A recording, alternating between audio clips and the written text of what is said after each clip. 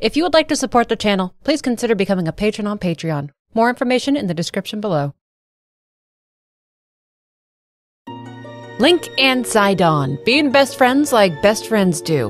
When last we left off, the duo had solved the riddle of that massive tablet the historian had discovered, and they were beginning their ascent up another series of broken up sky islands.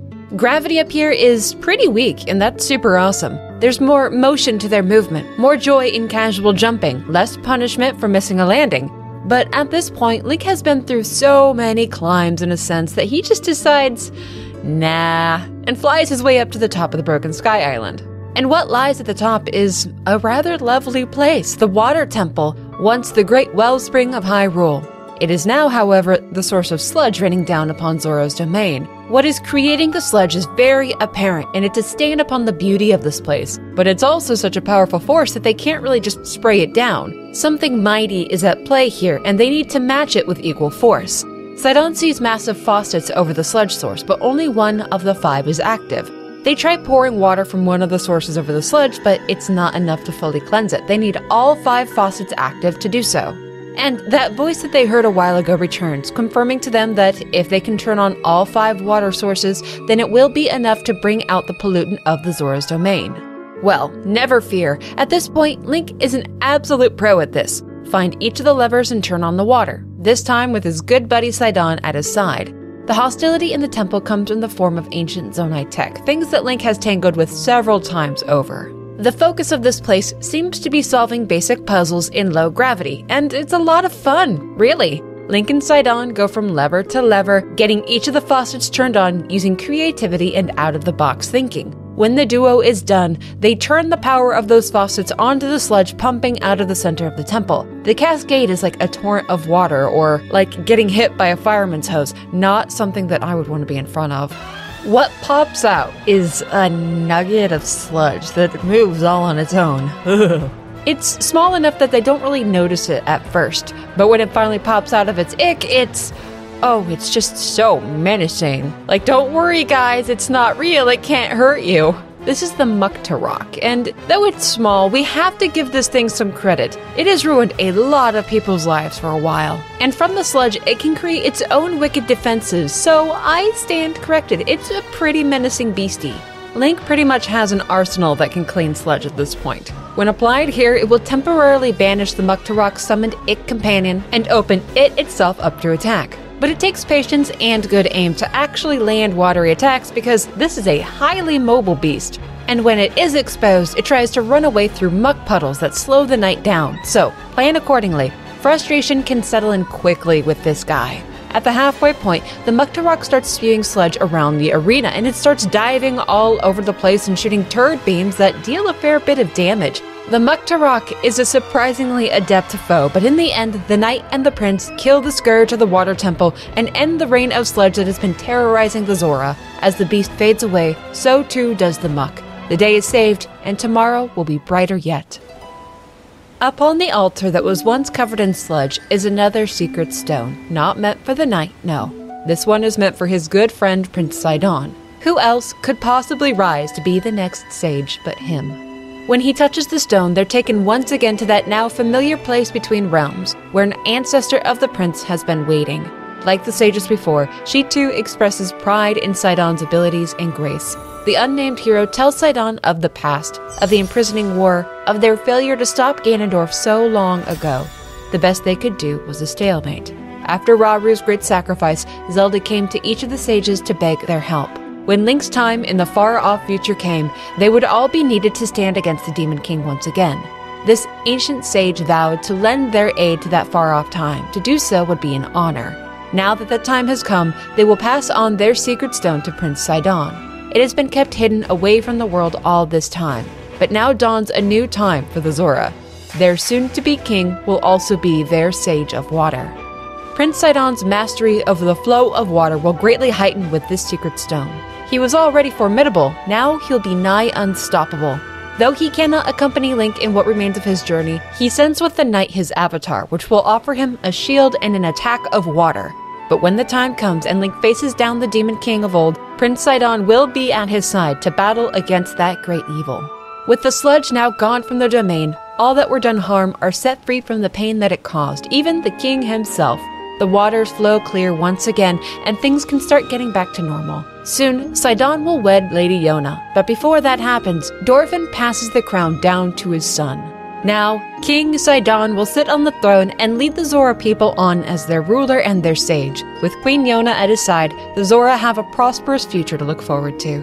Sidon and Link speak once more before the knight departs, specifically about Zelda. Her actions betray that she is an impostor. The real Zelda would never attack his father. The true princess was assuredly placed into the past, as was evident in the vision the old sage revealed to him. He will continue to look into the matter while Link is off journeying about. For now, they part ways until fate deems it time for them to be brought together once again. It's time to go see Purah to see this story concluded. Representatives from each of the four regions are here to keep their leaders abreast on things going on near the castle. They're all welcome sights to the knight and a comfort. Each one stands as proof that Link is not alone in this. Purah is thrilled at all his successes, and the two speak briefly to make sure that she is aware of everything that has been going on around the kingdom. But as they're conversing, the moon appears in the sky and turns a vicious red. Purah's hawk like eyes spot something at the castle and she directs her telescope towards it for Link. It's that strange imposter Zelda standing before the entrance of the throne room. But Purah can't ignore the possibility that this could actually be Zelda. They need to act on it as though it is. She hurries Link on towards the castle to where they saw the princess. He's as ready as he'll ever be, and they need to act on this fast, so the knight rushes back to the place that he once called home. Floating Zonai vehicles are his way up to the castle. He lands at the second gatehouse and spots the princess just waiting for him, almost entirely unmoving. When he does get close, she briefly churns and then vanishes. In her place comes a swarm of Ganondorf's minions. This is meant to be a trap, and it's certainly not the only one. He finds her again in the library, another ambush. Yet still, Link tries to find her again. He pushes on into the castle. In a hallway, she's waiting, then her old bedroom, then in the bowels of the castle, he tries to make contact with her only to fail. Higher up again, she taunts him into the castle where he's attacked by dangerous beasts, and then finally she bids him to enter the sanctum of the castle, the throne room. This time, though, when he arrives, she finally speaks. She has been waiting and wants to show him something. This impostor casts a spell over the throne room and remakes it into the image of its glory days before the calamity destroyed it, back when things were difficult yet so much simpler, back when this place was home.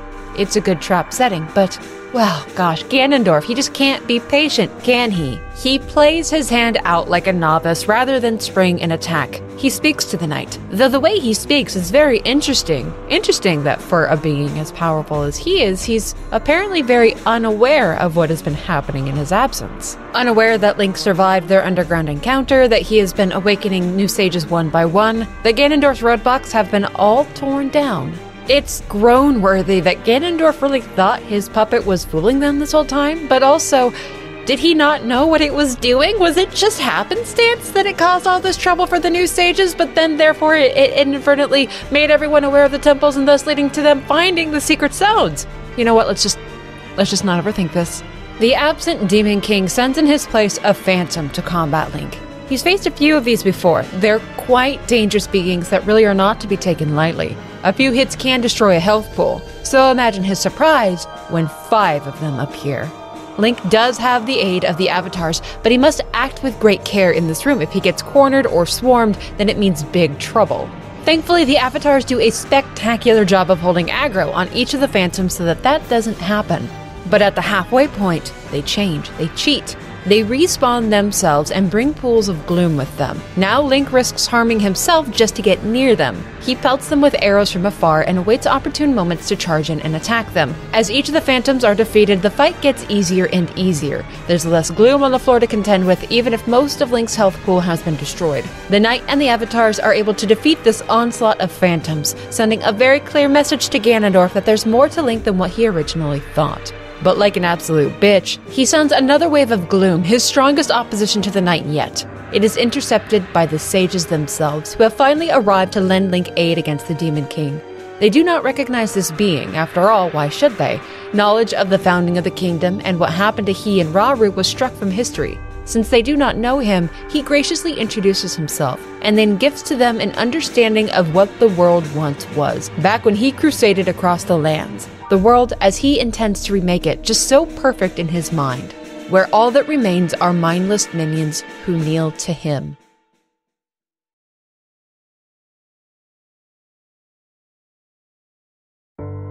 The sages of this era all know well Ganondorf's face and his intentions now. This is troubling. It's terrifying. It must be stopped. But it is Riju who sees through what just happened. Ganondorf isn't strong enough to stop them, otherwise, he would have just done it right here. He's buying time. They all calm themselves and return to Lookout Landing to plan their next move. Hearing what they all have to say makes Purah fully accept that the princess they've been spotting is truly an impostor. They all share their discoveries, making sure that everyone is on the same page. The true Zelda was lost in the past, her fate left unknown. That's troubling to them. And while they know that the Demon King is strong, they don't really know what he's capable of. Purah can't help but feel like they're missing something. If all their visions are to be believed, then there's another sage that is yet unaccounted for. Someone that they do not know the name of. They've only seen them in passing. If each of the ancient sages hailed from within a temple lost to time, then it stands to reason that this fifth sage is also within a temple.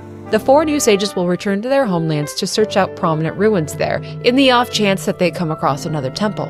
So, with each of the territories taken care of, Link needs to search around central Hyrule into the southeast. That's a lot of territory to cover. But with so many people to meet, tasks to see to, places to explore, it's sometimes easy to lose the plot. He visits Hateno and sees to a mayoral election, collects some amazing fashion. He saves and rebuilds Lurelin. He somehow finds himself in Tarrey visiting a couple that came together during the calamity, and he eventually lands himself in Kakariko Village. There is some weirdness going on here. Huge ruins fell from the sky. Searching around, he learns that Impa is no longer here. She passed on the mantle of leader of Kakariko to her granddaughter Paya, and now she's out in Hyrule doing some investigating of something special, very interesting. Link will absolutely need to track her down to learn more. But for now, he goes to see Paya, who's with Taro, discussing what they call floating ring ruins.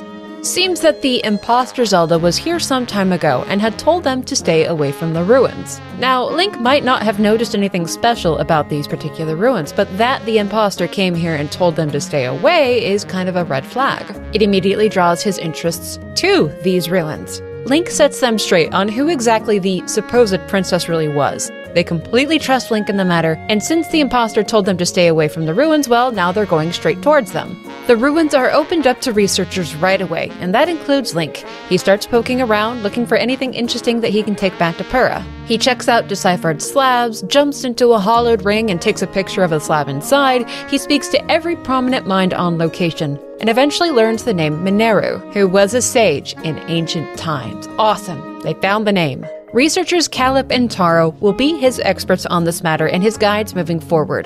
The images of that slab that Link took speaks of Dragonlands in the southeast region of Hyrule, very close to where they are now.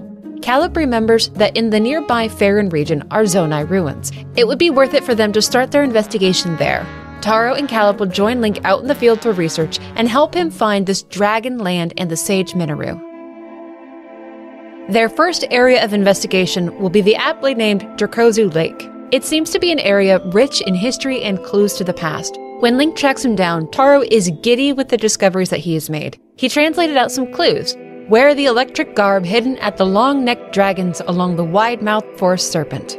Offer a Zonai charge at the altar at the tail. Taro believes that this garb will be in the caves under tall pillars that look like dragons. So, off with Link. The first piece of garb is right in front of them, in a conveniently placed chest. The other two are down the river in different little caves, much like this one. It all comes together to form some grade A fashion. With this outfit, Link's attacks will be heightened during lightning storms. With his fancy new attire on, he finds the tail of this series of dragon pillars and an altar. Upon it, he places a Zonai charge, and then he watches the lightning show begin. The sky lights up, the clouds get rowdy, and lightning hits the dragon pillars up the river. Then the clouds dissipate away, the sun comes out to lighten up the region, and a brand new series of sky islands appear from the chaos. Link and the researchers meet up again to discuss what just happened. Taro will write a report to Purah for this, Calip will continue field studies, and Link, well, what do you think he's gonna do? That's right, skydiving! Then get up to those islands. The weather is pretty nasty, but so long as he doesn't have anything metal equipped, it should be fine. Don't worry about it. When viewed from the top or from the map, these islands form the shape of a dragon, and Link needs to reach the head of it. It's a bit of a hassle, bit of a trek, bit tricky given the wet surfaces and wicked lightning going off. When he does make it down, it's head first.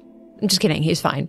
On the dragon's head, the weather is much more enjoyable. It's a little oasis in the sky. And there's another door like the one that he encountered, what feels like ages ago, at the Sky Island Temple of Time. Once again, he needs to have enough vitality to break through it, but Link is no chump. He has plenty of vitality to break this door wide open. Inside on an altar is a really heavy looking mask sort of thing that's guarded by a Zonai shield. It responds to his Rauru arm and the shield lowers, which then opens up the floor, revealing a secret passage. The mask churns and locks onto something far off in the mountains below, and then a voice rings out with an order Take the mask and follow the light.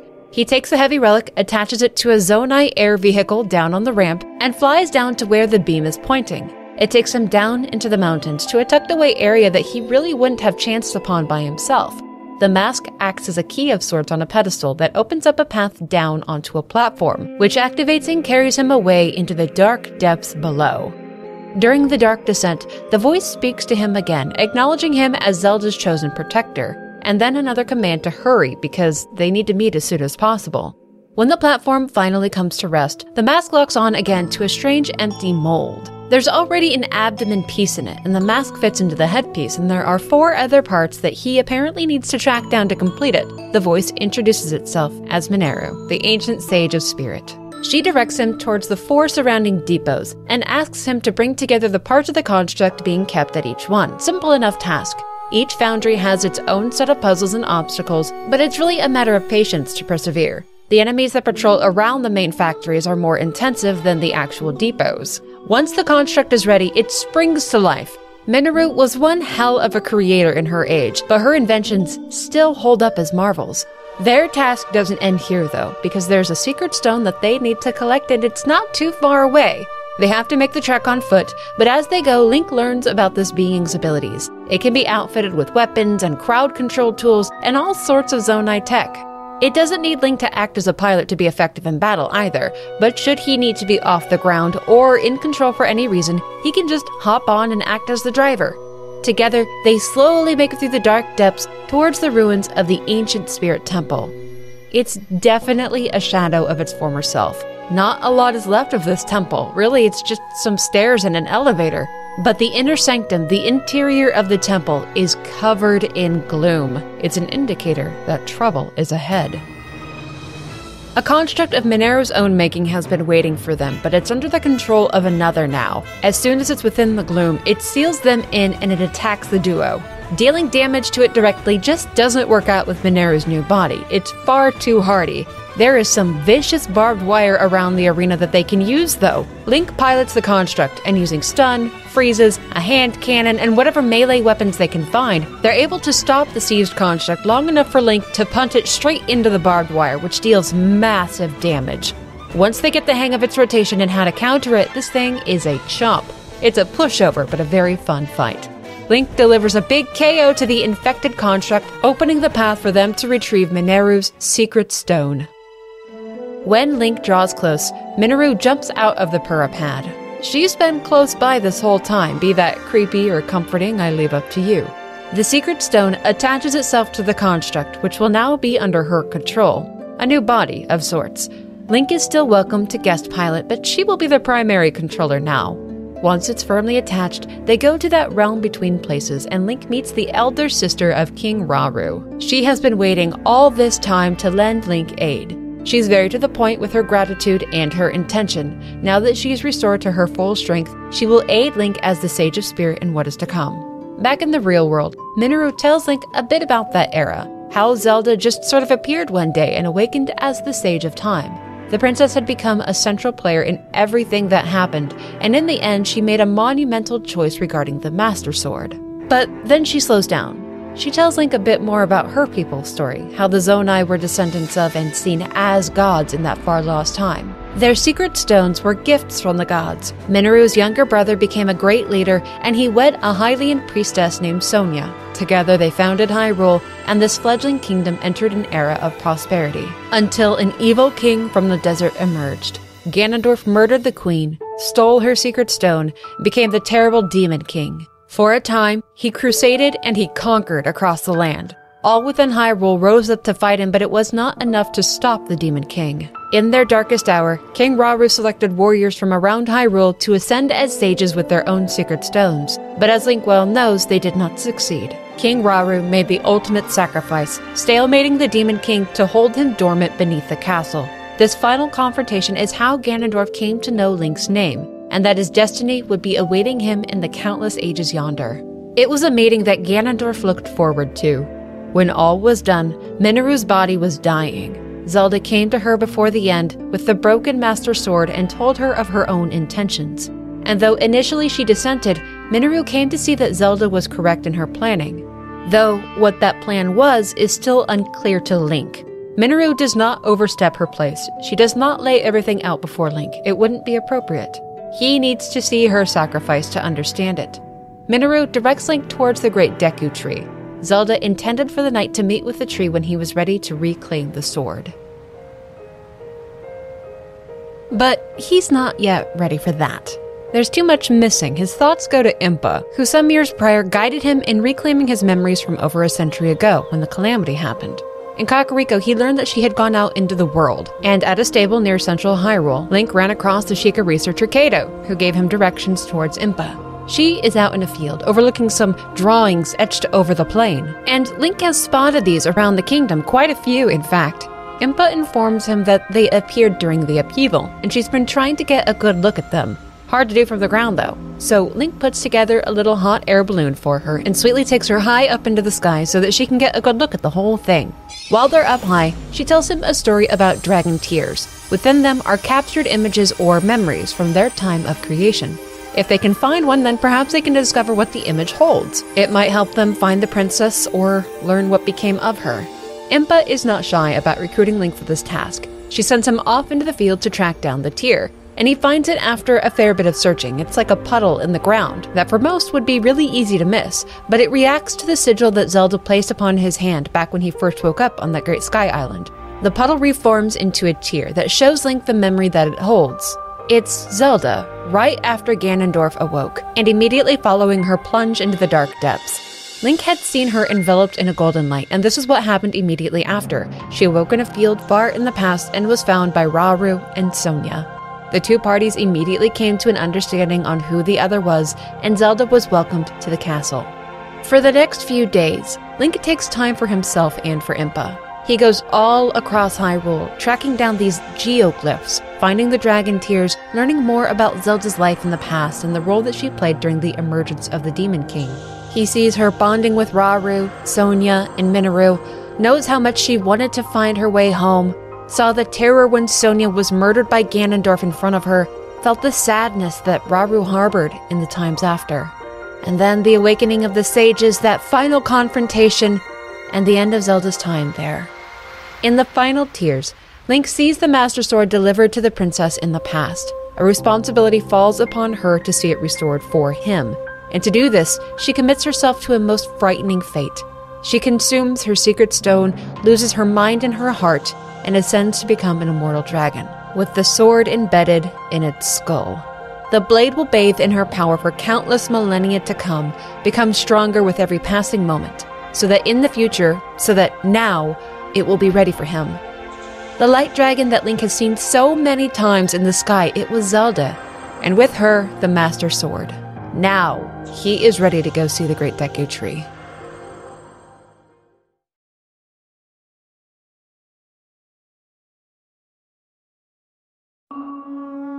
Of course, nothing is ever that easy. Something very odd is happening at the Lost Woods, the home of the Great Deku Tree. It's covered in a swirling vortex of dark fog. There are a few beings at the entrance, a traveler and a Korok, that are trying to get through it, but whenever they go in, well, they just find themselves back at the entrance. Just a short walk to the south, a massive hole has opened up, leading down into the depths. Link will head down there to see if maybe he can find a way up into the forest somehow. God, I hate how dark this place is. It's like plunging into an abyss. Thankfully, he can light the ground a bit before he crashes into it, and then he starts his trek to get underneath the lost woods, keeping his eyes upwards to see if he can spot a way to get back up to the surface. From a distance, he does see a pillar of some sort that looks like he can ascend through it. Actually, it looks like precisely what he needs. The walk there is pretty damn hazardous. It's creepy, it's dark, and some creations of Ganondorf are ready to stop his intrudence upon the woods. But eventually, he makes it up to that altar and finds that he can ascend through it, straight up into the Lost Woods, more precisely, the Korok Forest at the heart of the woods. But the Korok and the Great Deku Tree are all unmoving, unresponsive, like they're frozen in time. Gloom is flowing from the inside of the Great Tree, where Link finds a hole leading down into the guts of it. There are gloom hands down here just jiggling about in the Great Deku Tree's innards, I imagine. And of course, just as Link experienced down in the depths, once the hands are dispatched, then a phantom appears to fight the knight. Once these monstrosities are dispatched, gloom vanishes from the inside of the Great Deku Tree and the Lost Woods are returned to normal. When they speak, the Great Deku Tree fondly recalls the last time that he had seen them, back when Link and Zelda returned to the forest to reclaim the Master Sword. After the calamity was defeated, it needed some time to restore itself in the sacred grove, and the world has faced an immense hardship since that time. Zelda and the blade have both been lost, but the tree can help Link track them down. He can sense the Master Sword, even now. He directs Link towards where the blade rests. Actually, reaching it will be his responsibility. But Link has unlocked every sky tower on the map, so literally the sky is the limit now. He knows that wherever the sword is, the light dragon will be. He glides through the sky and lands upon the mythical beast. And sure enough, in the skull of it, there rests the Master Sword. Pulling on the blade causes the dragon discomfort. It bucks and throws its head about when he begins to force it out. It takes every bit of stamina he has to keep his grip on long enough to fully withdraw the blade. But when it's finally within his grasp again, it shines with a luster that it never had before. It's the most powerful this blade has ever been, all thanks to the actions of the princess so long ago. He is gifted with one more memory the final words of the princess to him. Though the Demon King defeated her, the Master Sword, it will not happen again. Through Zelda's powers, the blade has been mended and stands ready to face Ganondorf once again. Her last prayer was for the sword to reach him in the far off future, and finally, it's come true. Link now stands ready to track down and face off against Ganondorf. The knee jerk assumption is that he would be under the castle, right where Link and Zelda left him, but I mean, he wouldn't be that lazy, right? He would definitely move to a more strategic location, right? Ganondorf wouldn't hang out under there where his weird crypt was, right? That would just be that that would just be well, Purah recommends that Link search around the depths for Ganondorf. And the foremost expert on the depths is Josha, so he goes to speak with the young lady on the matter. Josha doesn't have a lot to give him outside of encouraging him to follow the statues around the depths. And well, okay, that's not a huge help, but Link goes down the Hyrule Field chasm and starts heading south, looking high and low for anything that could indicate Ganondorf is here. Well, he doesn't find it, but he does find an interesting new ability that he'd missed up until now. Don't judge me. Auto build. Link can now memorize blueprints and store build orders in a list, and so long as he has the materials that he needs for them, he can just automatically make them now. And at this point, he has tons of resources saved, so he can build, save, and auto build to his heart's content. He gives a demonstration to a few researchers on site, who then reveal themselves to be Yiga, who call out for their master. And well, well, well, look who it is! It's Master Kohga! See, and we thought that he had died back during the calamity some years ago. If memory serves, he got dropped down into a massive hole in the ground, something that no normal person could survive, but Master Kohga is no normal man, and apparently that massive drop down that hole is how the Yiga learned about the depth's existence. Oh, what high drama and payoff. Master Kohga has been trying to recreate the ability that Link just usurped, auto build. He hasn't been able to learn how to do it, and he's outraged that Link just waltzed right in and took it from him took it from their lord, the Magnificent One, of course, meaning Ganondorf. Their allegiance to the evil king is no secret, it's kind of their whole deal. So now they fight. To his credit, Kohga just sort of makes things appear. Like, he can't auto build on command, but he certainly can do something similar. And I'm starting to wonder if Kohga isn't actually one of the most powerful beings in all of Hyrule, and we just sort of underestimated him. The two have themselves a bit of an arena fight that's a pure practice in gleeful mayhem. Ah, if only every foe could be as charismatic as Kohga, but nothing lasts forever. Link overcomes the Yiga Master and sends his ass packing, but not before he spills the beans on where he'll be next, at the southwestern abandoned mine. Well, I mean, Link just can't let his best bud go like that. Of course, he needs to track him down and wrap up this little soap opera. So to the southwest mine he goes. While this is fun and joyous, Link is also banking on Kohga knowing something about Ganondorf, specifically where he is right now. The fight in the southwest is a flying vehicle battle, after which Kohga mentions restoring Ganondorf fully and using a final weapon to bring about the end of the world, and that's really an escalation. Then, they meet once again in the eastern abandoned mine for a water battle, after which Kohga mentions that they found Ganondorf himself. Now things are getting extra juicy, but he won't tell Link where he is. He's going to go to the northwestern abandoned mine to see out their final plans. Getting there is no big deal. Travel is quick for Link at this point. At the final mining outpost, Kohga proudly reveals their ultimate weapon, a Zonai construct. Link has already fought something like this before at the Spirit Temple, so this will be no big deal. But Master Kohga reveals before their final fight that Ganondorf was found beneath the castle. Holy shit, he really didn't move after the upheaval, that lazy motherfucker. Well, time for some punch out rumble. Each man is aboard his own construct, dealing out punches and putting up blocks. It's a shame to see their time coming to an end. It truly was a joyous affair. But Link defeats Master Kohga one more time. And though the Yiga leader tries to get in one more attack, he ultimately fails and proves his own undoing. But we will not be so foolish as to assume that this is the end of the Yiga. Oh no. Master Kohga is far too powerful to meet his end in such a way. He will live on. He will return. Just maybe it'll take a while, like a few decades or so. Link is armed with abilities, weaponry, armor of choice, and now knowledge of precisely where Ganondorf is. It's time to end this. The approach feels uncertain. Link doesn't really know exactly what's waiting for him down there. It's impossible to know. But at the heart of it was something that was powerful enough to defeat seven sages at once.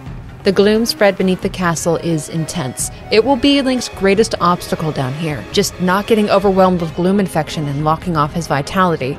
Everything seems to hit like a truck on top of it, and plans Link makes to ease his route can be undone by a single hit from a small foe and to make it more difficult partway down, the avatars are banished. The power of the sages cannot reach him here. He fights the rest of the way alone and on foot. Things start to look a bit more familiar in the depths. He finds those murals that he and Zelda came across together when they first explored down here. And that feels like a lifetime ago at this point. When they found these, there was such excitement from the discovery and hope at learning more about their past, but it all fell apart so quickly when they found Ganondorf's husk and that room completely collapsed. Now Link needs to descend it. It's a leap of faith, a sort of point of no return for him. It takes him down into the heart of the gloom infestation, and here there is only one path forward. It takes him on into another deep, dark drop. He readies his armor and his gear, and he takes one more plunge into the inescapable. Upon landing, the knight is ambushed by a swarm of Ganondorf's minions, some of his hardest hitting mobs that each bring threats of gloom infection with them. Thankfully, ever so thankfully, the sages knew of the peril Link was descending into. No doubt when their avatars were banished, they were made to know that trouble was on the horizon. They're here now to fight, to fight beside the knight against these waves and hordes of challenging foes. And each of them plays a valuable part, even if they're simply taking aggro, getting attention off of Link so that he can focus something down. The first wave is defeated, which gives way to stronger Lizalfos, which then leads into the dreaded Gibdos of the Desert, a group that requires patience, kiting, and planning. And then finally, Moblins that initially try to rush the knight. Were it not for the shields of Mineru's construct, he might have been beaten down rather quickly. But with each sage stepping in to take heat off, it turns into a manageable fight. After the army of Ganondorf is defeated, they have but a moment to speak before greater foes rush the arena. The powerful bosses of each temple descend upon the group, but each sage is confident that they can handle their own Goliath. They send Link on to meet the Demon King. In what seems like the blink of an eye, they are separated by falling rocks, and the knight is alone to meet his great adversary. The Demon King sits alone, waiting for Link. His first words are not one of greeting, of understanding, of explanation, not even an introduction. No, it's it's so much worse. It's boring. He complains. Ganondorf, the Demon King, evil incarnated, and dull, and apparently delusional. Those he calls peace loving cowards still control Hyrule and reign over it. His minions do not. He does not. Though he speaks as though he's already won the day. If they are weak, then what does that make him? Well, he wishes to fight a worthy foe, and so he will have one. The Demon King wraps himself in gloom and pulls himself together to take a more familiar, more striking form. The Gerudo King. He vows that he will crush his opposition and take his place as a ruler for that is what a king must do. Admittedly, Ganondorf is a worthy foe once he stops speaking and picks up his blade. He's quick, aggressive, his hits are devastating, and the knight puts himself at risk of retaliation should he be hasty in his own attacks. He switches stances and weapons at a moment's notice and will flood the entire room with gloom if it means putting Link off his guard. Their duel is a spectacular one that almost ends badly for the knight a number of times, but in this round one, Link takes the victory. At the next phase, Ganondorf of course takes his time monologuing about the thrill of battle and the depths of his power. He's far more interested when he stops speaking and engages in battle. Next will be the Demon King, his stupid health bar, and his many phantoms. But at this point, bring it on, bud. The more, the merrier. The tougher, the better. To even the playing field a bit, the sages break through the rocks, keeping the arena shut, and engage the phantoms surrounding the knight. What began as a 5 on 1 equalizes into a field of just pure chaos. Yet the Demon King's gaze never falls away from the knight. Even if Link becomes distracted by another, he had best keep an eye on Ganondorf himself, because he will cross the entire arena to close the gap between them, and all his hits cause gloom infection. At the halfway point of this phase, the Demon King's mood shifts. He no longer wishes his phantoms or the sages to be present. He sends his phantoms away and knocks the sages the hell out in one hit. The rest of this will be between the knight and himself. His weapons change erratically, and he uses what looks like gloom magic to punish Link at a distance. They have one hell of a back and forth, and in the end, Link wipes the floor with him. Oh, imagine the indignation that the almighty Demon King be cut down by one of the so called cowards, those weaklings. He's not the sort of being to accept a loss, no. Remember that, of the legends of old, this is the same being that died on his feet in battle. He refused to accept defeat so long as he still drew breath. This will end in one of their deaths, as it always has time and time before. So Ganondorf consumes his secret stone. He will do as Zelda did pursue the forbidden path, abandon his heart and his mind, and become an immortal dragon. Does that mean he's unkillable now? Well, We'll just have to see about that.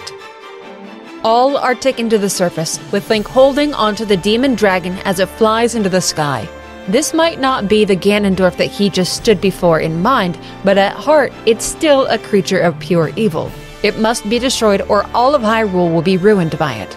The light dragon that was once Zelda captures the attention of the demon and draws it away from the land, high into the sky, so that all below might be kept safe, at least for now.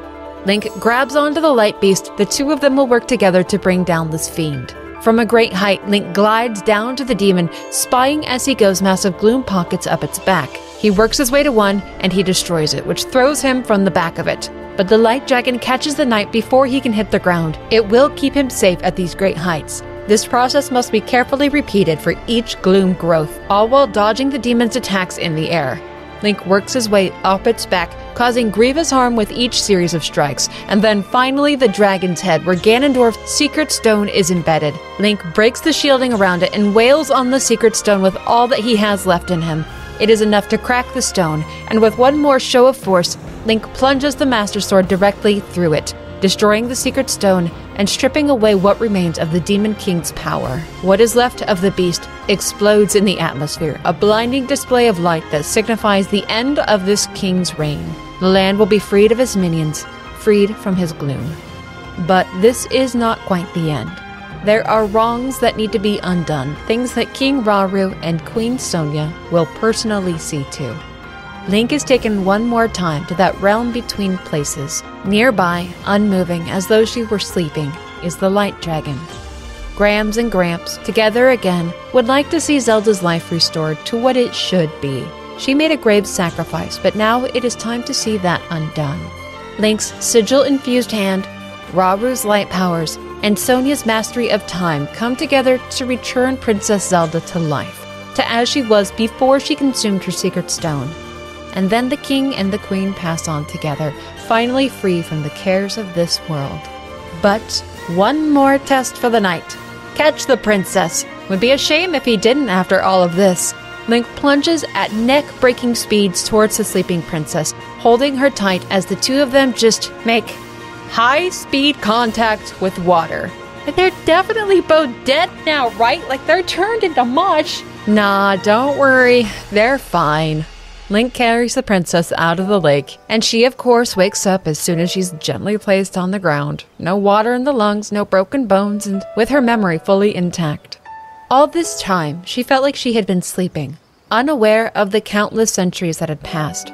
But she can tell that the Demon King is gone. They succeeded, their plan worked. She tells him that when she finally awoke, it felt like it was in a warm, loving embrace. It was Rauru and Sonia, she knows. They gave her one last gift before departing. And now she gets to tell him all about them herself, about all the wonderful people that she met, and what Hyrule was like way back then. And finally, after all this time, she gets to say, Oh, Link, I'm home.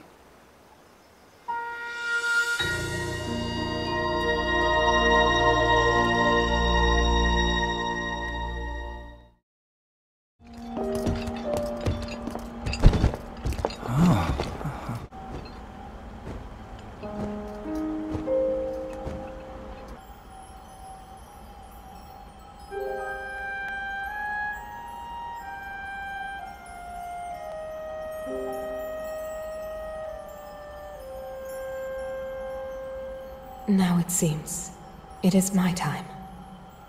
Mineru! Do not worry. You have overcome the burden my era left to you. You have proven yourself, and you no longer need me. I know I can move on, join Rauru and the others, and the world will be safe.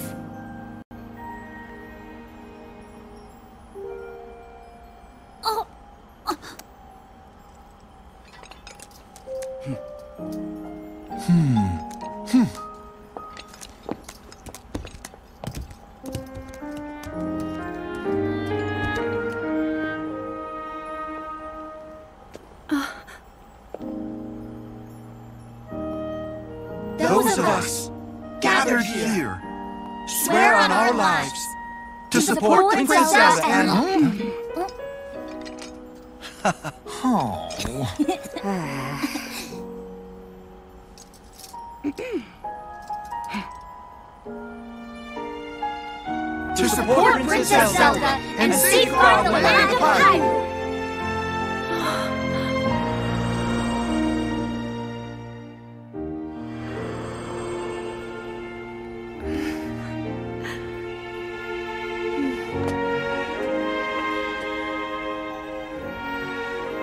Rauru and Sonia will be happy to hear of this.